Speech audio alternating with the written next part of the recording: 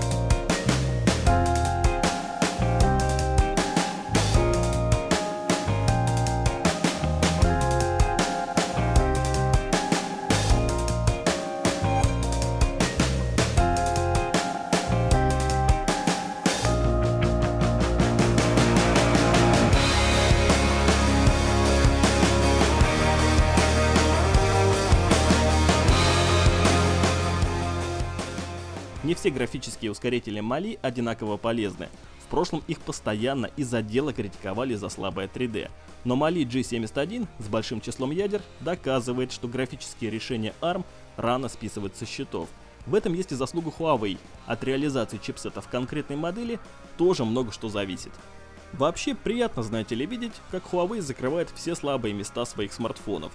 Прошлом году она сделала огромный шаг вперед с камерой совместной разработки с Leica, а в этом, кажется, положила конец критике игровой производительности своих флагманов. Как считаете, чем компания удивит в каком-нибудь Huawei P11? Кстати, если вы рассматриваете P10 к покупке, то вам будет полезно знать, что сейчас в фирменном магазине Huawei идет акция. Покупаешь смартфон и получаешь пару полезных подарков бесплатно. Ссылка под видео. Если вам понравился этот тест, то жмите лайк, если не подписаны, то подписывайтесь. С вами был Евгений, mobiltelefon.ru. До скорых встреч! thank you